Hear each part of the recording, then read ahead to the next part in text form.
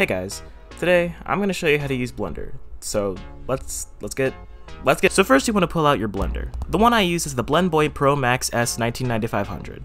It costs about 5,000 Robux, but if you live in New Zealand, it'll cost about 7,500 V-Bucks instead. You can also get one of these from the mysterious man that appears behind everyone's home at exactly 4.41 am.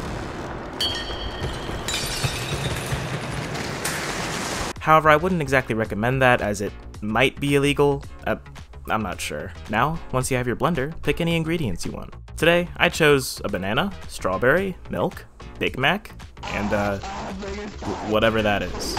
So now, take all of your ingredients and put them in the blender. And now all you have to do is turn it on. Uh, um, what? I, wait, I, wait, I just want to on. Where, where's the on? I just want to turn it on.